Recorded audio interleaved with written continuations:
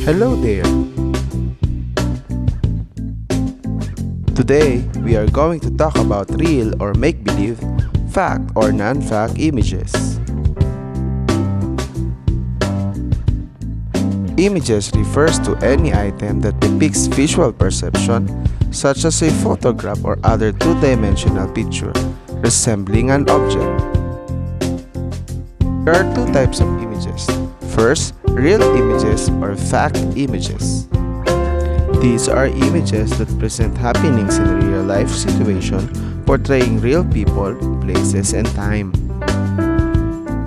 These are the example of real images. The purposes of these images can be to inform, to tell stories, to entertain, and to persuade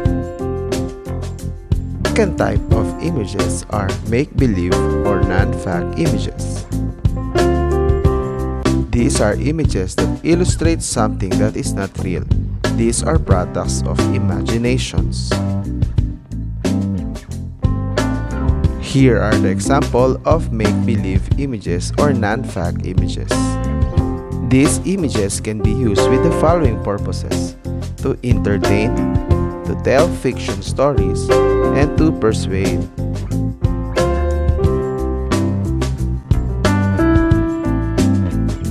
Images that educate are actual magazine photos that feature tourist spots in the world.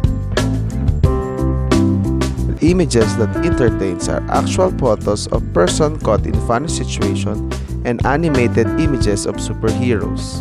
Images that persuade convince others to believe in the message they convey.